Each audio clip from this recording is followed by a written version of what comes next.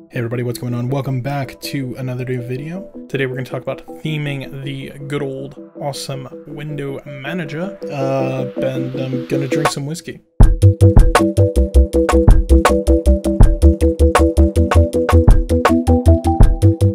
This might be my favorite whiskey of all time, Talisker Storm.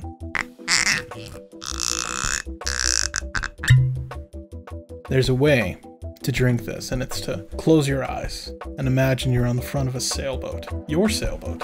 You built yourself. Why not?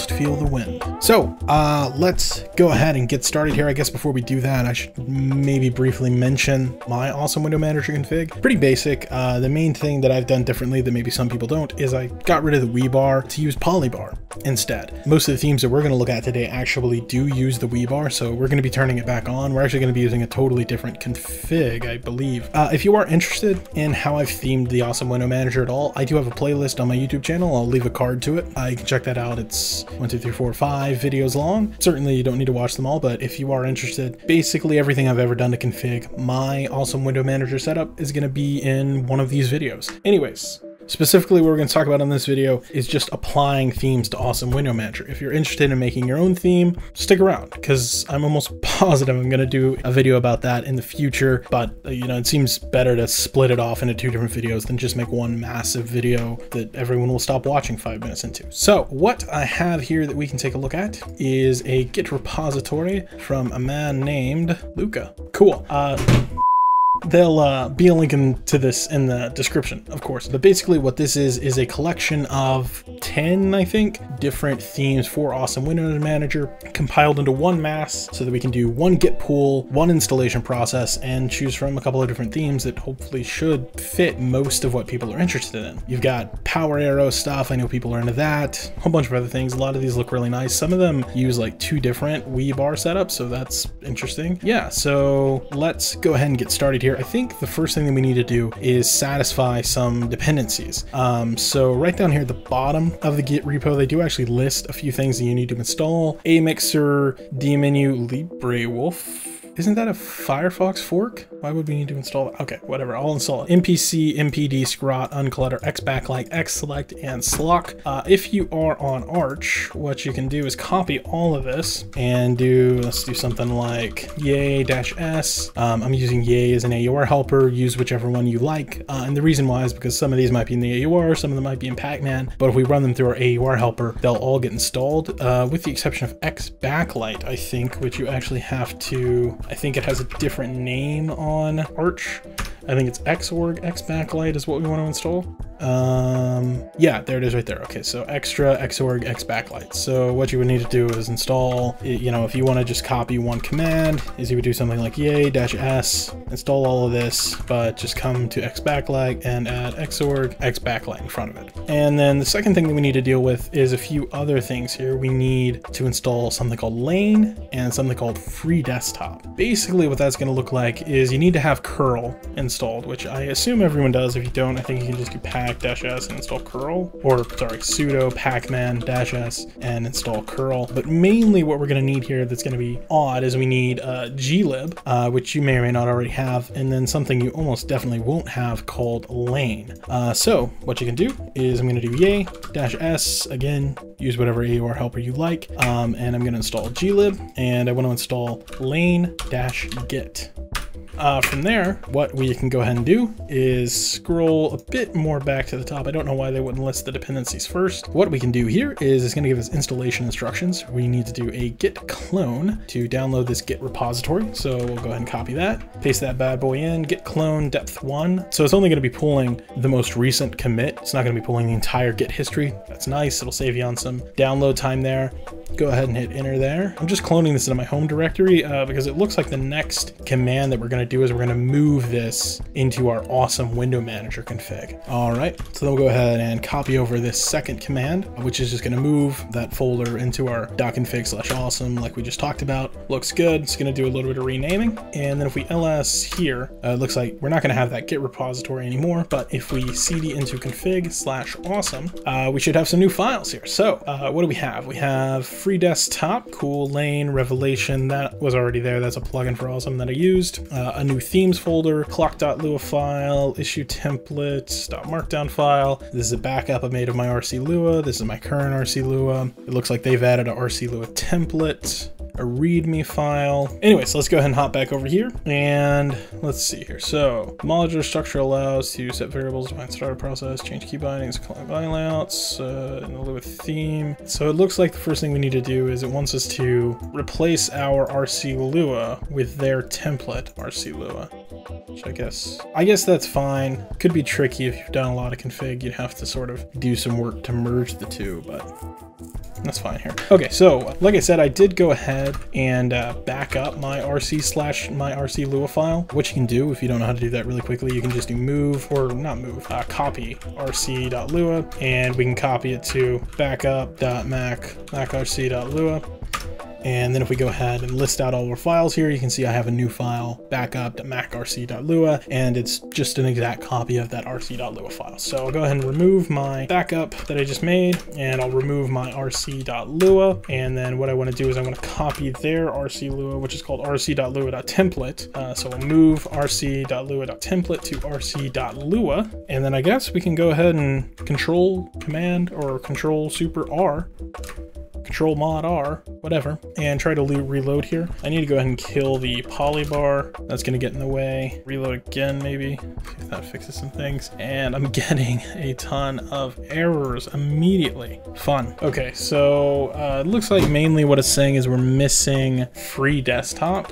So I think we're maybe missing some dependencies here. Okay, so we did miss a dependency absolutely there. Cool, so let's go ahead and we're gonna have to do yay dash s and install awesome free desktop dash git by the way, this is where using something like Arch really, really comes in handy because you have access to the AUR and you don't have to go in and build all of these apps on your own. Which if you're on Ubuntu or Debian or something like that, probably gonna have to build a lot of this on your own, which uh, I'm sure frustrates the hell out of plenty of people that use Ubuntu. So question is, can I just reboot now or not reboot, restart the awesome window manager and fix it or do I have to reinstall? Oh, hey, there we are. Okay, cool. So now we're using a new awesome window manager theme.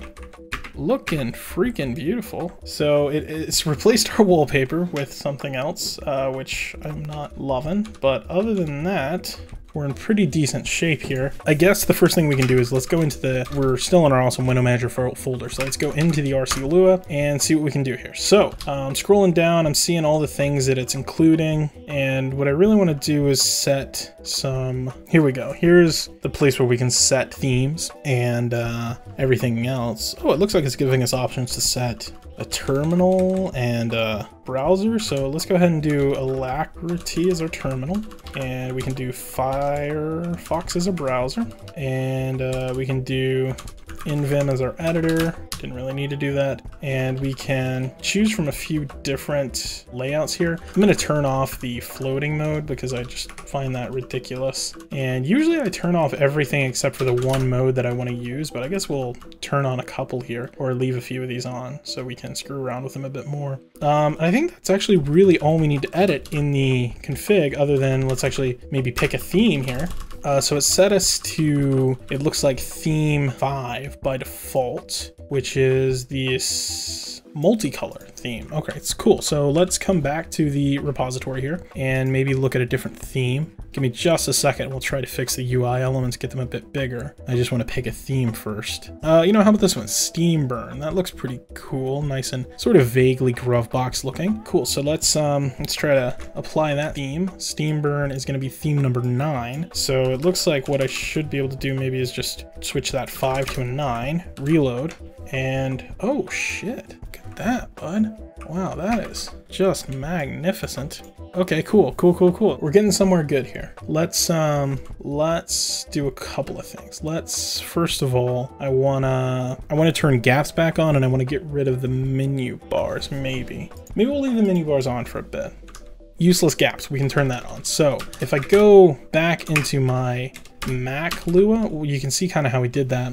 Is we just need to add one line right here. Beautiful useless gaps equals 10. So I'm going to copy that. Then we can go back into the normal RC Lua and we can probably just drop it all the way at the bottom and maybe set it to 20 reload. Nice, now we have some gaps. Okay, so now we want to actually try to edit the theme. So let's cd into that themes directory. And what the hell was the name of this theme? Steamburn. Okay, so we'll cd into the Steamburn folder. And what do we have here? We have a wall folder, we have theme. Oh, look at that wallpaper, man. I freaking love that. Anyways, all right, so let's go ahead and uh, go into the theme.lua file and we can maybe try to edit. Oh, hell yeah. Okay, so it looks like we can immediately just edit hexadecimal values. We can change the names of the fonts. Fuck yeah. Okay, so let's do Montserrat, I think is how you spell it. Give that a reload.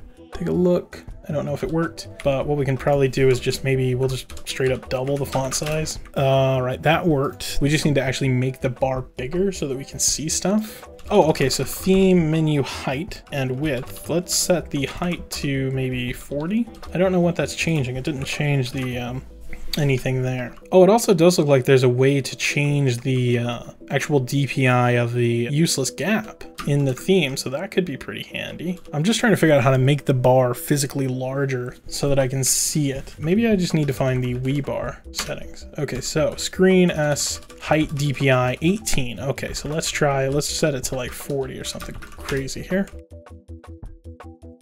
Okay, getting way bigger here. Very nice. So I think that's a pretty good start here. Maybe we'll change the font to something different, like, um, I don't know, we'll do nerd. What's, what the heck, what the heck, hack? Nerd font?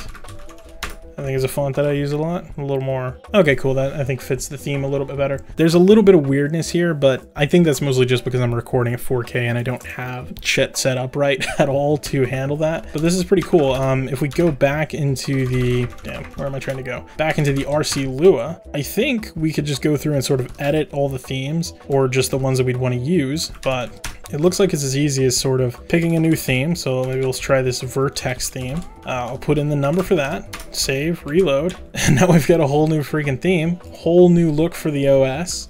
Wow, so this is cool. I'm very into this. Uh, I want to mess around with it a bit more. There is that theme file for it looks like basically every single one of these themes. So you can come in, edit the theme.lua. They've also got an icons thing here. So it looks like you're also going to be able to maybe go in and just literally edit all the different icons if that's something you want to do. That's something that interests me. I don't know if that's something that interests everyone else, but man, this is freaking dope. Um, work to be done, certainly, to get these themes sort of where I would want them. And I think that's where we're gonna want to go in another video. But I'm gonna go ahead and cut this one off so that we don't go on for too long. Thank you everyone for watching anyways. Hope this was fun for you. I'm, I'm actually excited that this worked as well as it did. I thought it would be way more complicated, uh, but this worked out fine. Um, pick up a bottle of Talisker Storm if you've never tried it. This is a phenomenal scotch. And that'll be it. Thanks for watching, everybody.